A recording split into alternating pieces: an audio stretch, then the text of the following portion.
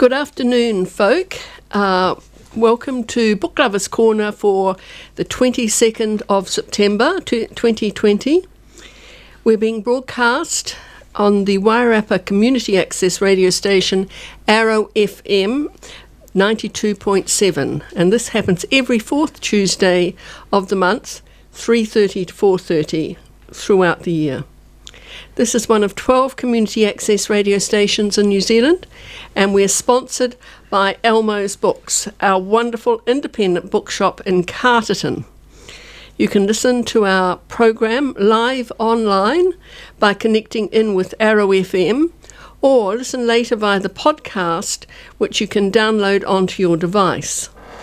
The Book Lovers Corner can also be watched live on Wairarapa TV Freeview Channel 41 and on YouTube. We'd appreciate any feedback you can offer by contacting the station's Facebook page. I'm Valda Kirkwood. The other members of the team who are together, all together, the three of us for the first time today, are Gareth Rapson. Greetings, Gareth. Good afternoon and Steve Lawrence from Elmo's Bookshop, who is replacing his sister Sue, who has decamped to Waiheke Island. Hi, Valda. So um, good to have you both here today, since we've been in sort of COVID restrictions to two per uh, session rather than the three. So it's great for the team of three to be together. And uh, we've got Sue, who has is retaining a distance relationship with us by sending every month her notes from a far isle, which I'll be reading out um, shortly.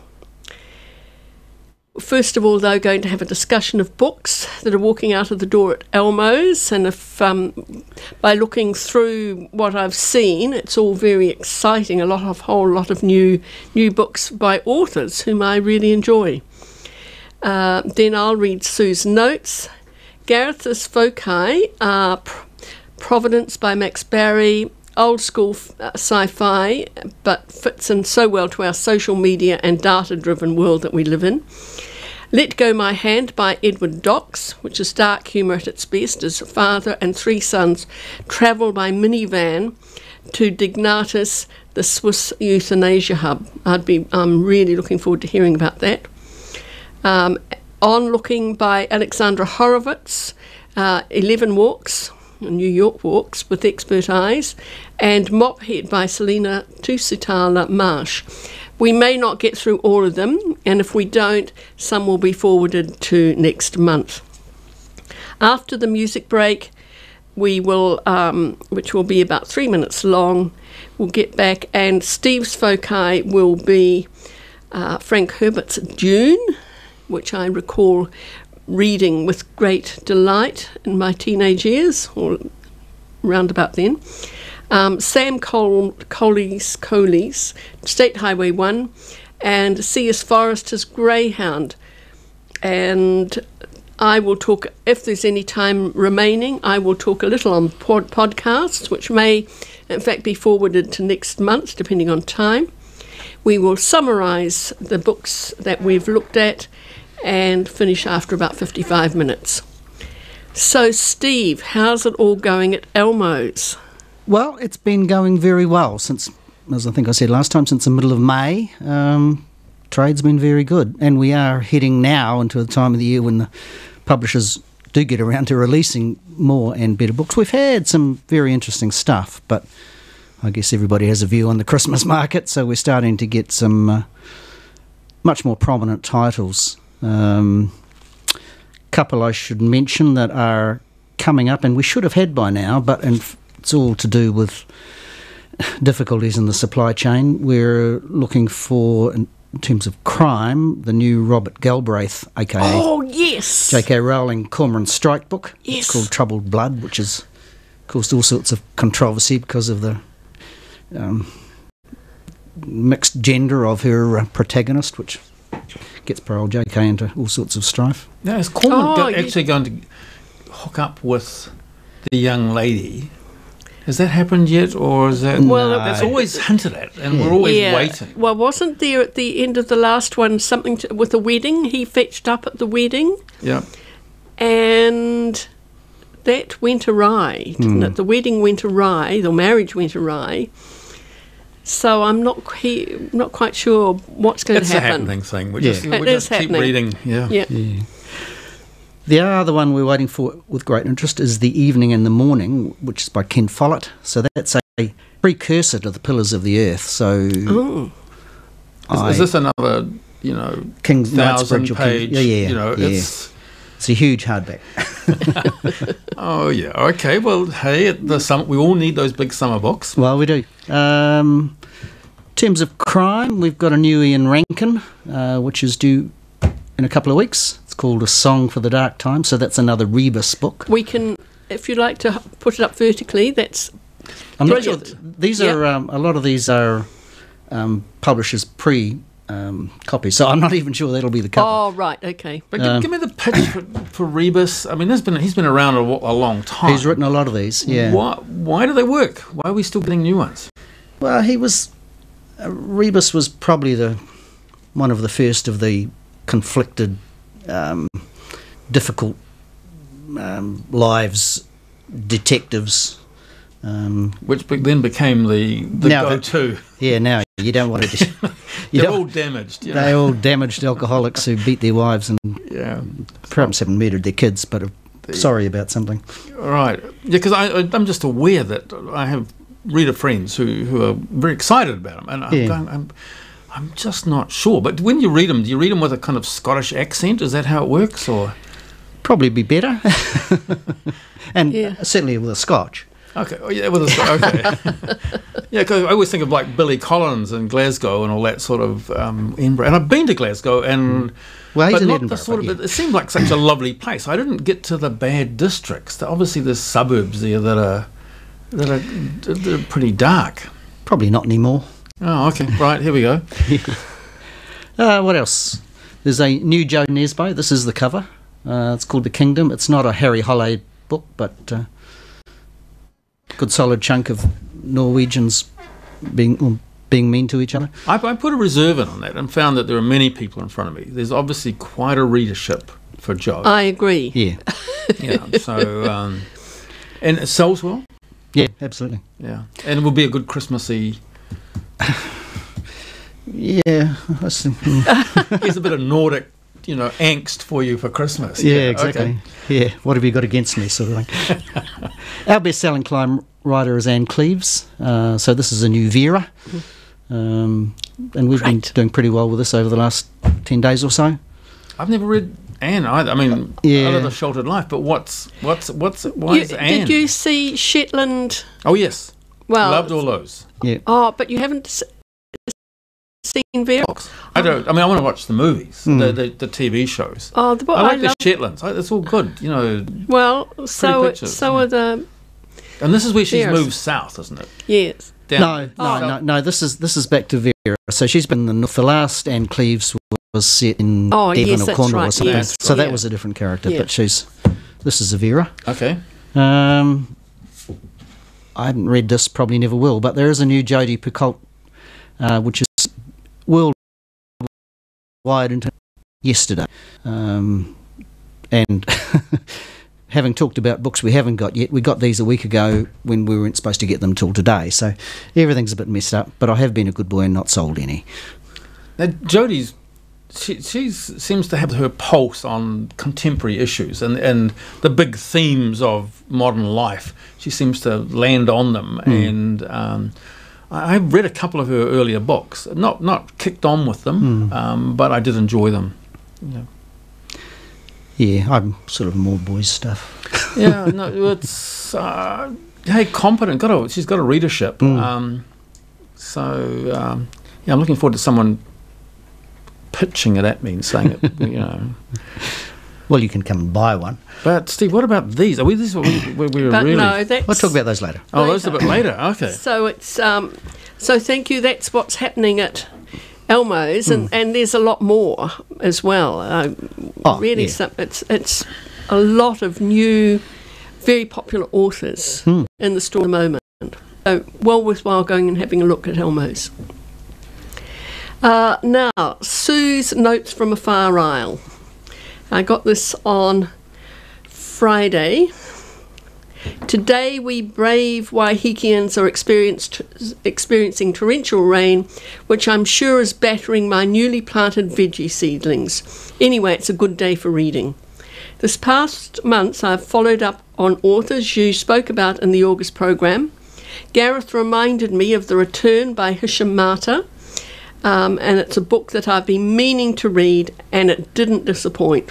It's a harrowing tale of Hisham's search for the truth about his father's fate as a prisoner of Gaddafi in Libya, and also an exploration of father son relationships and family grief. So she's got a copy of this because hmm. it's not available readily. It's not. It's not well, in our I've, library I've, system. Well, I've had it.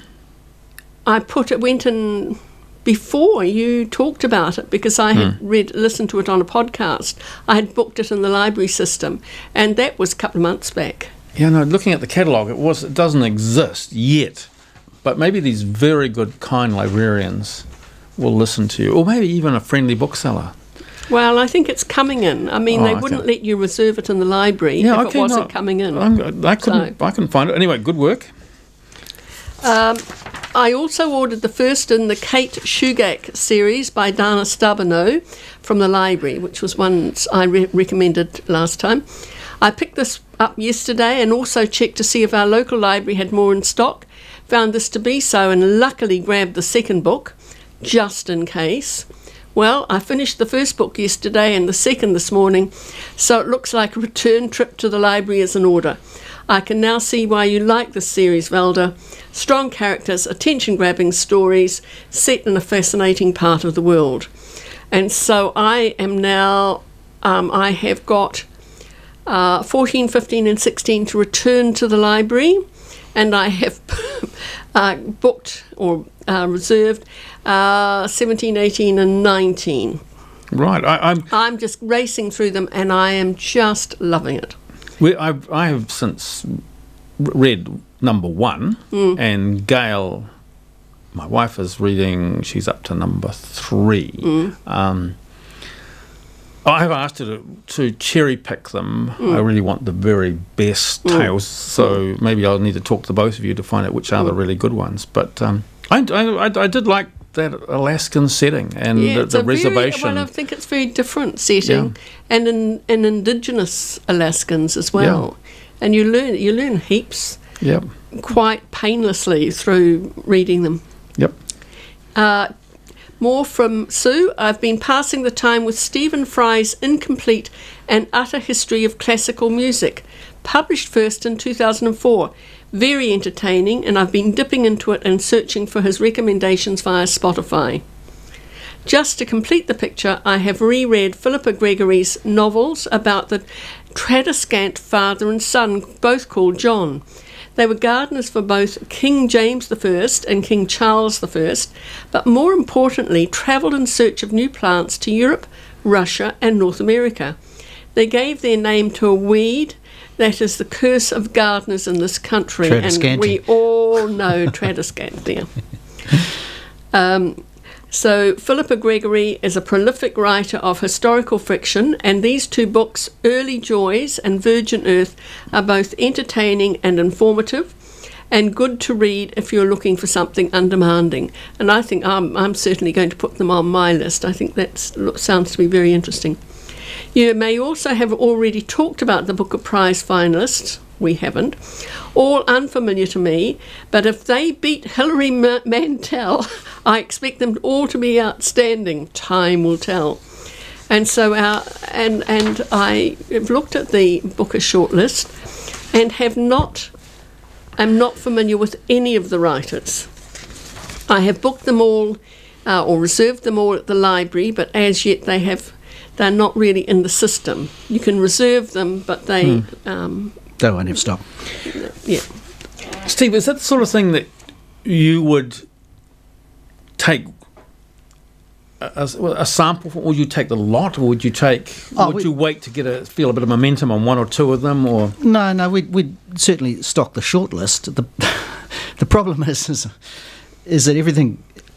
If we're not pre-ordering three months early for new titles, something that we don't know about um, will take us a month Yeah. to get. Yeah. Um, the girl in the mirror, we've only Yeah. just got stock now, and it's you know probably fast its first flush of youth, really. But oh, okay, so so, that's- that, yeah, that's so we, we will get them all. Um, in fact, I've and by by then there'll be substantial reviewing and people will be getting excited about particular titles if it you know of, of interest. Um, so. No, it certainly looks uh, an eclectic little bunch of, of new. I mean, instead of the the kind of the known and famous, it's well, they're uh, almost all American writers. That's interesting, isn't it? Yeah. And that's No. the change from the Booker being published in Britain, Well, it just used to have to be a Commonwealth writer. a common right, yeah. but uh, yeah, not now. No, So um, and that has made a difference, hasn't it? probably made a difference to the style and possibly the quality. I don't know. You would Mm. think so. Mm. Watch the space. Okay. So, given Watch the Space, it's now over to you, Gareth, to talk about your books that you would like to do today. I don't know which one you're going to start with. Well, let, us start with um, a, a, a s- a smaller book, Mophead, um, by Selina Tusitala Marsh. Now, Steve, you've had this book. Yep. Tell us a little bit how it went. Uh, it goes pretty well. It's um, it's it's one of a number of books we're seeing a bit like the.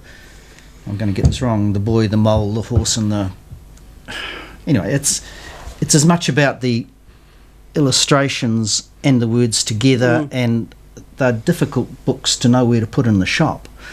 Um, I haven't put that with the young adult stuff, although it won a children's book award. Um, Yeah, because that, that could easily sit in non-fiction. It could easily sit in the graphic novels. It could easily sit in child, children's literature. Um, and you could probably find a place for it in a memoir. Hmm. So it's kind of... Um, anyway, let me, let me just pitch it for you. Um, this, this was published in 2019 and it won the Elsie Locke uh, Award for New Zealand's um, children's literature, and then it won the Supreme Award in 2020 for New Ze- of, for the best children's and young adults book. So it really, um, you know, there was some the judges really sort of gave it the heads up. Um, it's an inspira- inspirational memoir of growing up Pacifica in New Zealand, and um, she's teased at school because of her hair. I mean, the, the subtitle of it is How Your Difference Makes a Difference, and it's kind of about her mop head hair. And she's conforming to fit in. Um, but then one day, Sam Hunt arrives with his unruly um, Sam Hunt um, package of hair, music, songs, and um, she decides to embrace her difference and be wild and let her hair go. Um, she takes us through a, the special moments in her life. She's um, one of the first Samoan um, woman to get a PhD, and, and um, then she read her poem to the Queen in London and um, Samoan royalty. Um, she'd done readings for them. Met Barack Obama, um, and then became our, our poet laureate in 1917 to 20, not 17 to 2019. Um, we've had I'm informed by the book that we've had um, the, we've had 11 poet laureates and five of them have been women. And um, Selina is the youngest. It's funny it's quirky. Um, she is New Zealand's best-selling poet laureate um, her book Fast Talking PI Fast Talking Pacific Islander Have you got is that I, I, I haven't seen it as a book, but I've heard her recite the, the poem at a Y Word thing that was done here in Masterton a few weeks ago for National Poetry Day, which was was called Wairarapa Worlds, and then we had poetry in 20 different languages, um, Right. one of which was her contribution. Yeah, but highly recommended. Um, I, think any young teenager would find something in that, and you know, it's well worth being in a school library. Um, and um, The, the, the, it ends with her going home to Waiheke Island, which brings us back to Sue again. um, I mean, and it was terrible to hear that it had been raining in Waiheke, and you know the margaritas had to be inside instead of rather outside. But The, the um, winemakers don't mind it raining this time of year. uh, she was doing it. February they get a bit grumpy. Yeah. Second book, um, Providence by, by Max Barry, which is a nice, which is science fiction. Now, I, I don't read a lot of science fiction, but I will, if some title comes by, I guess once a year or every now and then, that really is looks interesting, I'll probably give it a go. Um, a book like this, you know, sci-fi at the shop, Oh no, we people who read sci science fiction read science fiction. They don't read much else sometimes. Um, so yeah, and people are always looking for something new and different.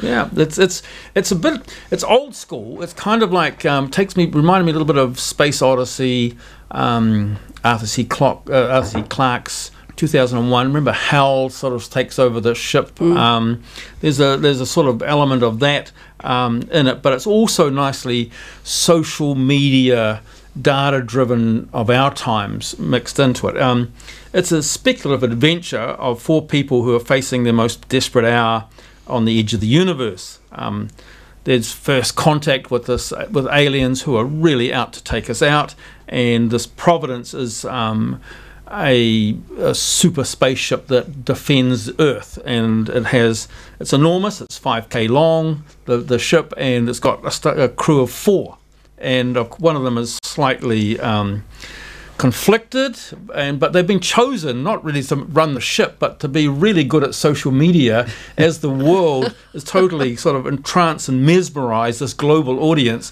for their podcasts and their little feeds very much like the space space lab skylab or whatever it is up there um, this ship is doing it but while pursuing the enemy across space these characters confront the unthinkable and suddenly their communications are cut. Their ship is becoming increasingly untrustworthy. Um, and fans of science fiction will think um, Philip K. Dick, William Gibson, if you like that. Uh, but if you like movies, space movies by Spielberg or Ridley Scott, um, this is a book for you. Um, highly recommended. So, Yeah, 'cause I think science fiction lost out in the last few years to the fantasies, the George R. R. Martin, and dragons, and all that sort of stuff. Um, whereas I think it's a pretty solid genre. I do too, and the libraries tend to often classify them together. They kind of run them in there, whereas the, which must be very annoying for both fantasy fans and sci-fi fans. Um, the To be fair, we shelve them together. yeah, well, I guess everybody's used to that. Um, which, and I'd like one in the future really to to little look at that fantasy genre, which I haven't really. I remember back in the day, Feast, Feist, F I. yeah, Raymond Feast. Raymond. I remember Feist, reading I'm his sure. Sword of Shannara, those sort of classics when I was way younger. Um, and I'm thinking, whatever happened to that um, that genre? Well, well, I liked Ursula Le Guin. Yeah. She was the one that I, I really enjoyed. Yeah.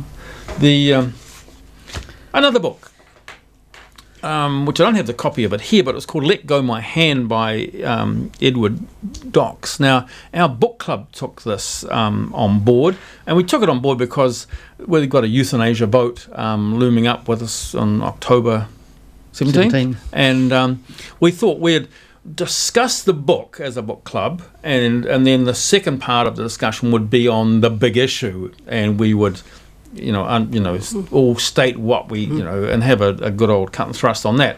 Um, the book is very much the, the tale of the father and his um, his one of his sons start off um, crossing from Dover into France and are going to travel by minivan across to Switzerland um, to go to the euthanasia hub.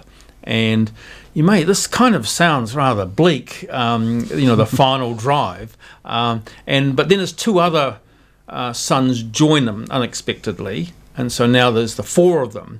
Um, this is a very funny, dark book, and it seems like a dark topic lends itself to very black humor. And these four, the absolute, uh, the, the dialogue in this book is top shelf. It is so cutting and funny um, that you know our, our book group were just entranced by the, the sort of the writing of, of Docx on this. Um, it's it's complex family secrets are getting teased out, um, and we get and in the squabbles of the family there are there sort of flashes of truth and insights for all of us about not only euthanasia but about family dynamics. Um, the and, and bad behaviour is funny, and these the sort of it kind of breaks your heart, but um, you're kind of you can't stop just chuckling all the way through. The this this guy is, is a very good book. Now I've, I have three sons. Um, hopefully they're a little bit more um, different than, than Lou, Rolf, and and Jack, but. Um, they're, they're, it's kind of like these three young men trying to make sense of a rather mad world, and um, Which I, I'm sure your sons are doing too. yeah, well, and we're all are really, Yeah. and, and I recommend this book to friends. It's it's kind of moving, emotional book, um, love, sex, death, betrayal, and I learnt a lot. And at the end, there's a letter um, that he writes to one son or his sons. Absolutely terrific, and it reminded me of letters. Um, I was trying to think, like Justice Mahon, he wrote letters to his son um, the New Zealand book. You know the one he did Erebus, Yeah, and yeah. I thought those letters was Yeah. that was one of the great book of Yeah. letters. But this has this book has a solitary letter, which of which I must admit I took notes down because I was thinking, is that something? Would I leave a letter to my sons? And um, so, and, and it was just a just a terrific way as the book and it is beautifully the, the the end of it is beautiful. Um, compassionate book. So uh, anyway, that that was the book. But then we got to our group went on the bigger issue, and the vote around the room was we had one person who was going to vote against it. Really, they were she was con- quite conservative and was able to mount a good case for um, why she was voting that way, and the rest of us um, were pretty positive. We were going to vote um, positively for it. But it's a complicated issue with, you know, and we really discussed it how you would look at it with the different age people are going to look at this problem or this issue in a different way. A 20 year old and a 70 year old do not see this in any way. And, and it was a terrific discussion. I'm sure New Zealand is enjoying that discussion now as we um, come towards that day when we're going to tick little boxes. So there we go. How are we going for time there? Uh, have you got? You've got I got about one more, five but- minutes. Oh, look, I've got a little bit more time to get into this. Is now this is a book I haven't read, but I feel I've read it. Um, and You've heard a um, lot about it. yeah, and, and, and it, it's and I've, it's I've read it's something I've, I've, I've pre- preparing for the an art the art group the Y Art art group and um, so I'm, I'm taking I was taking looking at the book from a looking at from the what artists would be interested in. But I discovered the book and I'll give it how the book came into my sights in fact I'll start with that. There's a there's a little website where you can get a newsletter. It's called Brain Pickings by um, Mariah Papova. Popova. And a friend sent me something, and I thought that is so fantastic. So then I set it up, and so now I get this weekly thing, and it's brain pricking. And what what Maria does is that she looks at books and takes out the really best, the kernels, the great ideas of it on. And obviously, and as you read things, that you are being sent little tiny little links to the very short things of either a little bit of poetry or a great bit of art that goes with it, or just terrific thinking. And the one came in this afternoon, which was on the Su- Supreme Court judge. On it was about the five bits of law that had totally informed her life.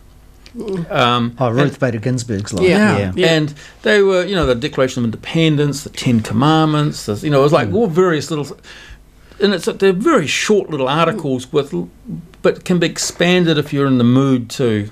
And the themes, I think, would would really for people who love books, and it is book driven. Anyway, one came up which was uh, called "On Looking," and it was eleven walks with Expert Eyes by Alexandra Horowitz, who's in our library system as a person who writes about the cognitive development of dogs. She's very interested in dog behavior, um, and that's how we've got a book. But this book was about um, the art of looking, and it was. And it looks at urban life and how we spend our lives, and it argues that the art of seeing has to be learnt. That you don't. It's so and It's like the art of listening, isn't it? Yeah. Right, Yeah. and it, it- she's a cognitive science, and she's and it's a record of her um, of her quest to walk around a city block in New York with eleven different experts. Same walk. Oh, fabulous. different people. That would be And, um, fantastic. There's from an art from and emerge with fresh eyes, mesmerised by the previously unseen things. Um, Horowitz argues that we we miss the majority of what was happening around us. It's adaptive ignorance. Um, we and we consider it concentration, but um, It's just self defence, really, isn't it? You Yeah. can't. Otherwise, But- you'd spend your whole life oh, that's right. being- walking 100 yeah. metres. Yeah, and she goes, it, it eases the cognitive overload, which I thought was very good. Yeah. Um, and she That's walks around the block with herself. so she goes around, and we get that. Then she goes, takes a toddler Hmm. and walks around. And we- They get that. Then an artist, then a designer, a geologist, um, a naturalist, a doctor, uh, a blind person, and a sound engineer. engineer. And not a dog, because a dog give, would give you a whole different. and finally a dog. Oh. so, um, the, the the book is an invitation to the art of observation. Now, I would expand out to the art group, the art what what happened with the artist's walk because that was pretty pretty interesting. So. Um, that's that's the art of looking, and I don't think that book has been published in New Zealand. It was it was published actually in 2014. Uh, I've never seen it. But I've never a- heard of it. Yeah, and it's a sort of, and it's about this this little newsletter you get is about books that um, have kind of we've missed, but it had some interesting ideas. I mean, a lot of them are very ideas. We have seen them; they're kind of classics, but. Um, recommend you that brain pickings if you um, want to have a have a little look and get a feel for what, how that works. Thank you. And I think that's uh, perfect timing to go to our music for today, which is a um, from the CD Beauty Spot by the NZSO, and it's the um, intermezzo from Cavalleria Rusticana.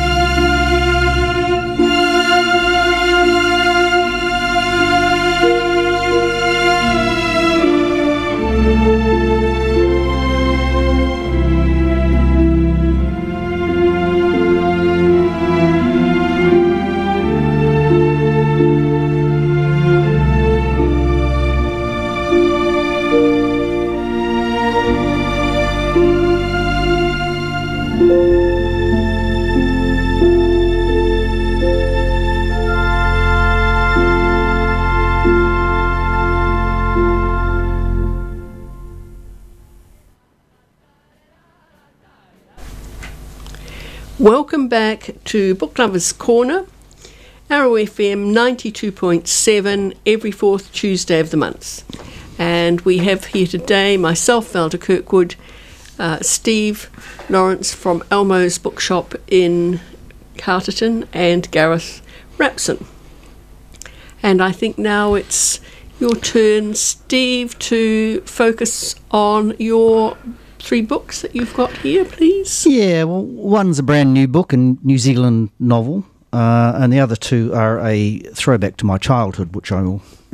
and, and Come on to. also to. some of our other some some of our other childhoods too. Some Well, I hope so. Um, So, first thing I want to talk about is State Highway 1 by Sam Coley. Now, this is a first novel. Sam Coley, he actually lives in Australia, but he was brought up in Auckland. In 2017, he won an Australian Emerging Writers Prize, which included basically a contract with Hachette. So they have published his first novel and done a pretty good job with it. Um, it it's called State Highway One because it's kind of a road trip.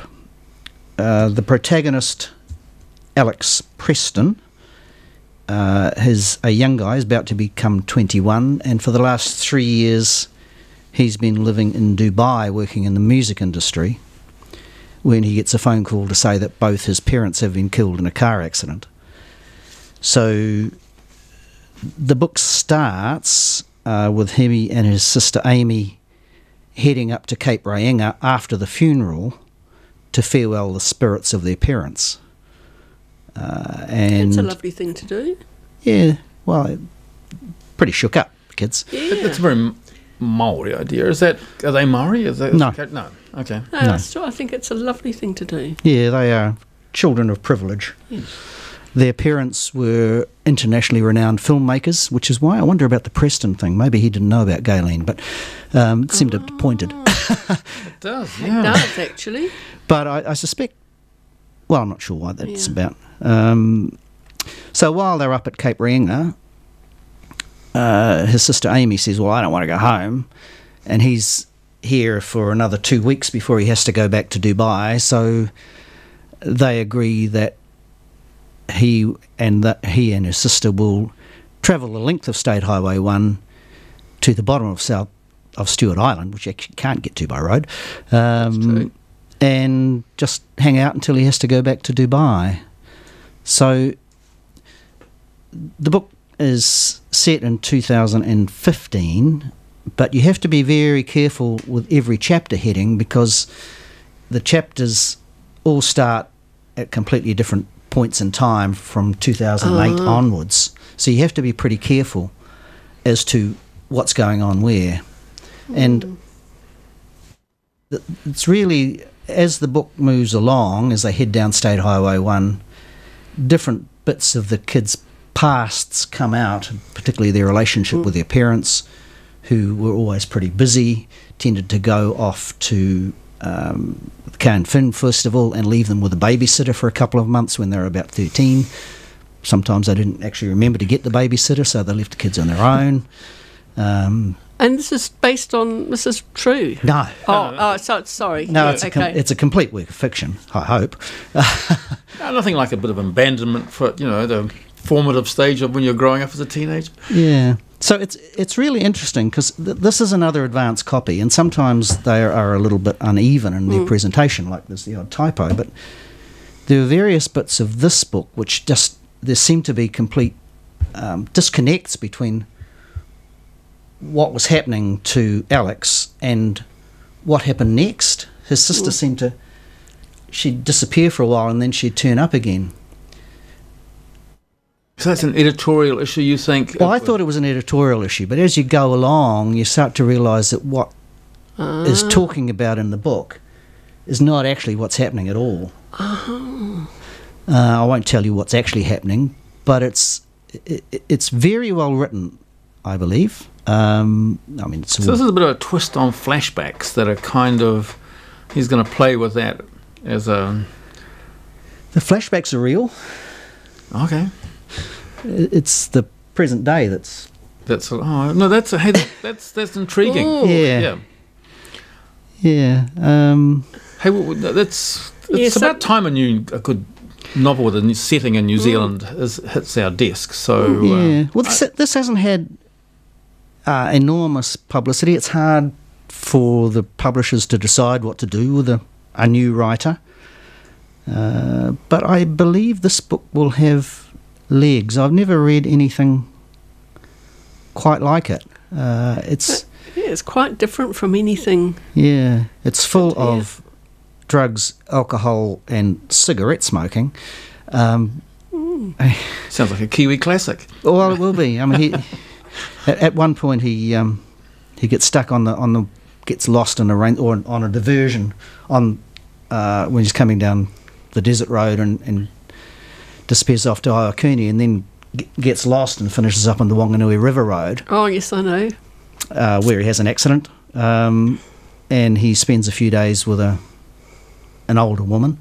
Um, no sexual ramifications to that, but among other things, she teaches him. She fixes his car and um, teaches him to roll cigarettes. The thing is, we, we, we're all so familiar with State Highway One that, that, they, that you know the name we'll we'll, we'll we'll you know readers Kiwi readers will just bring to mind when any name any place name is just It- going to it- yeah, just- rush to our consciousness. Absolutely. The description's pretty good. They spend a few days in Wellington, which going to places that I've been to. Yeah. We're up in Cape but- Reinga recently. Um, Well, just you mentioned before about going to Ohakune and ending up on the road yeah, to, through Raetihi, presumably, Hmm. yeah. over the Paraparas. Well, yeah? apparently, I mean, it's, it's, this is not autobiography, biographical, No. but at some point, Sam Coley actually He's, did that. he's obviously done that. He got lost, Yeah. finished up on the River Ride. Everything is grist. and I writer, can, yeah. I can, yeah, I can see how it had happened. So it's uh, races along. Didn't take me long to read it, uh, but it's quite um, it's quite detailed in its descriptions of places, and it's you really got to think all the way through as to where you're up to. um, So that's actually a challenge for the reader. So it's not boring. You know, you're not going down State Highway One. You're having to do work to sort of piece it together. Yeah, to work out whereabouts in this Yeah. these kids' lives Yeah. they currently are. Is it the present, or is it when they were thirteen? Um, so you just got to check the dates. So you, you'd rate this a little bit higher than you know Jasper Fforde and the Rabbits and the, Well, I thought Jasper Fforde and the Rabbits were pretty good. The fact that neither of you two are prepared to read it just indicates that your uh, inner, Yeah. inner Jonathan Swift never quite come to the surface. yeah. Yeah. Um, now, the other two books I've brought along are just partly because there are new movies based on both of them, but also just a bit of nostalgia. fifty years. Yeah, the, the first book is Frank Herbert's Dune. Um, When was he first published?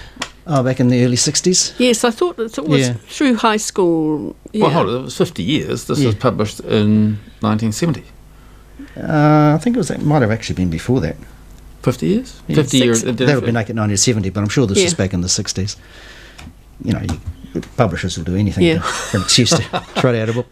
A couple of things. Uh, there is a a new movie uh, coming in December, um, and also in October there's a new book called Dune: The Duke of Caladan, which is a talked about precursors before to the Ken Follett series. This is a precursor to to Dune. There were a number of Dune books written afterwards, hmm. which I found really difficult hmm. because they just seemed completely derivative. Hmm. So Dune, for people who don't know, and if there are people out there who don't, they should come and buy the book because it is, I, to my mind, the best book I've ever read. Because it is a complete reimagining or an imagining, not reimagining, imagining of a commerce, um, a whole ecology, a whole political system, um, based in a galaxy which may be thousands of years ago or thousands of years in the future, who knows, or a, just somewhere else. So it's it's a major work of imagining.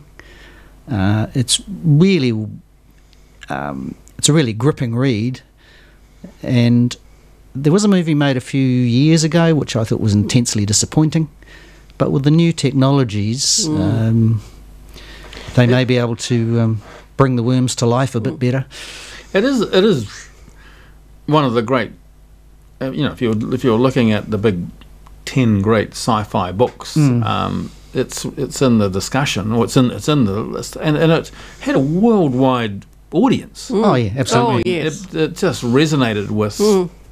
with everyone, and uh, I remember I'm my re- recollection was um, a stunning read, and uh, but these newer books. I mean, it's, it, he's gone now, so they're they're written by The new book is written by um, Brian Herbert, who's the son, and Ah. Kevin J. Anderson, who's written a lot of science fiction. So the um, I haven't seen it, uh, but I imagine it'll be pretty good. Hmm. Um, and it's the uh, the premise is uh, main premise of the book is this, this planet called Arrakis, on which there are these enormous like hold it, this is this or is this the new one? this is Dune, Yeah. um, and on there are these enormous subterranean worms. They're like a kilometre long, um, and they produce this thing called spice.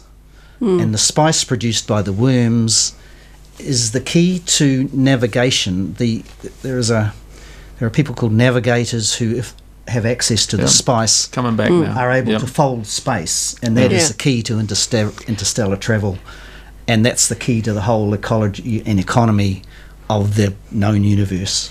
Actually, Uh, it, ma- it makes me want to reread it now Yeah. because I think because the way what the planet is facing now, you know, you're having to rethink what life on the on Earth is like Hmm. or will be like, and I think it might have some really interesting. Well, if we do, we'll have to leave. I hope we don't go here. Yeah, Yeah. So, hey, look, two sci-fi books well, yeah, was meant to be. I think so. The, uh, Now, the other book I've brought along is by C.S. Forester. Now, I grew up on C.S. Forester, mostly on the Hornblower novels, and I've spent most of my time in the shop trying to encourage people to read C.S. Forester and the Hornblower novels. I reread. I had a small operation in my hand a couple of years ago, and um, I couldn't do much for a few days, so I, I've got the Hornblower bind-ups and all of the books in, in three uh, volumes, and I read them all in about a week. Um, I, I read them as when I was way younger. I thought they were fabulous. yeah, Absolutely terrific. You know, adventures with you know a, a swagger about them. They were good. yeah. Um, And s- Forester, uh, he was writing after the war, so uh, though the books are, are not new, but his prose uh, is as readable as ever. So, you know, some books date, Yeah. uh, uh, these don't. Um, and he his depictions of Nelson's navy were extraordinary. I thought, and I've been fascinated ever since. This book is is uh, is called Greyhound, and it's got it's the basis of a new movie starring Tom Hanks. It was originally published in 1955 as The Good Shepherd, and it's a book about the uh, North Atlantic, the Battle of the North Atlantic, uh, and it's uh, about a destroyer captain grappling with a U-boat. So those are always my mind excellent reads, uh, and it's got this book's got a picture of Tom Hanks on the cover, which should help. Uh, the movie, unfortunately, didn't get a cinematic release because nothing has, and is currently available, I think, on Apple TV, which doesn't mean much to me. Um, but um, yeah, so I, my fervent hope is that people will, will pick up this because it's got a picture of Tom Hanks on the cover, like and then Kenneth, we'll rediscover C.S. Forester. from a distance, he looks like Kenneth Branagh on the Dunkirk movie. Well, it's the same outfit, isn't it? Really? It is, you know, it's sort of like, you know, come on, guys, let's get on the boats. But, um, and who doesn't love Tom Hanks? His, his films are, um, you know, they're kind of always just the ultimate good guy, um, doing the best for everyone. It's, um, but I, I, I'm pretty sure I have read that, and um, the. And, I, and those tales of, of that, of, uh, I mean, of those convoys, um, Well, yeah, the other book I remember is The Cruel Sea, which also oh made a yes, pretty good movie. yes. Monsarrat, yeah, and um, and I was as we were mentioning before, Dennis Glover, um, our own poet and Caxton Press, you know, um, he was on those convoys and Mm. um, and wrote about them, uh, not like this, but um, no, amazing times. And um, yeah, so I'll be, No. be, I look forward to hearing whether that moves off the shelves. I'm doing my best. doing my best for C.S. Forester, Yeah. really. Yep. Well, that's thank you both. That's been, I think that gives us plenty to read for the coming times. Uh, I've we've got f- five minutes or less left for mentioning a few podcasts that I really I love my podcasts, and one lot of one genre of podcasts I listen to are um, writers' books, podcasts to do with books. And one of my favourite ones is uh, Canadian Broadcasting Corporation, uh, Writers and Company. And it's an hour long each week. And it is by a woman called Eleanor Wachtel. And she interviews writers for an hour. And so you really get stuck into what makes the writer tick. And at the moment, um, they are celebrating. Apparently, she's one of the English speaking um, English speaking world's most respected interviewers, and they are currently celebrating uh, 25 year anniversary, 25th years of doing the Writers and Company. And at the moment, uh, she wanted to celebrate the Women's Prize for Fiction. And so she's interviewed the current uh, pr- prize uh, fiction prize winner for women, who was Maggie O'Farrell, with um, Hamnet. Hamnet and Judith. Um, but she's also gone back and rebroadcast other interviews she's done with other uh, fiction uh, winners uh, when they have won their prize. So she's interviewed Carol Shields um, in 1997 after Larry's party, Ali Smiths in 2014 after How to Be Both, Chimamanda Ngozi Adichie uh, in 2009, Half of a Yellow Sun, Rose Tremain uh, in 2010, Trespass and the Road Home, Ann Patchett, Truth and Beauty in 2004. So, and she uh, seems to become. I know apparently she's very close friends with Rose Tremain, so she talked about her friendship with Rose Tremain uh, this week when she was broadcasting her previous, her 2010 interview with her. I think Rose Tremain has subsequently died. Well, there's a new Rose Tremain book. Oh, well, so I don't she know can't that- have. I don't know that that's been published for us posthumously, but yeah, we've just Oh. had that a week or so, and I'm desperately trying to remember the title and can't. However, Right. So that is a podcast that I really recommend. CBC Writers and Company with Eleanor Wachtel. And, and she would stack up with our our who's our woman broadcaster? Kim uh, Hill. Kim Hill. Oh, yes, yes. I'd say they would be on a par. They're both very, very intellectually incisive. You know, they both have done their research. They've both able to cast widely and ask questions where the interviewees say, oh, I've never thought of that before. That's a new way of looking at it. Or, you Yeah. know, so they're very um, incisive interviewers as well. Yeah, no, I mean, if if she's like Kim, then that sounds, uh, you know, a terrific endorsement. Well, and that might get you into listening to podcasts, Gareth, or you'd probably be f- prefer to be reading books. No, no, no, no. no, uh, It's kind of it's yeah. No, I'm sure podcasts will find me one day. Yeah. Yeah. Now, that's because we're running out of time. I just want to mention Yarns and Barns coming up starting in mid October. Um, check it out um, on the online on your, the internet, and uh, I got a uh, festival ticket for sixty dollars, so I'm going to almost everything. so I'm all set. And so next month in, in October, the October um, uh, book lovers corner, I'll be talking about that um, what I listened to during that.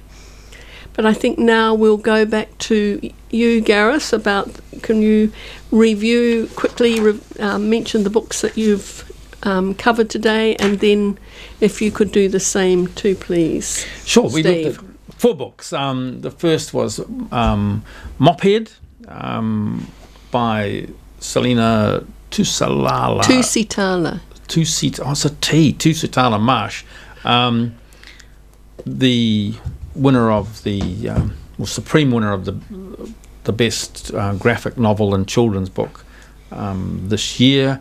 Uh, science fiction. Um, Max Barry takes us to the edge of the universe um, in, a, in a nice, terrific adventure that'll uh, please any good sci-fi fan.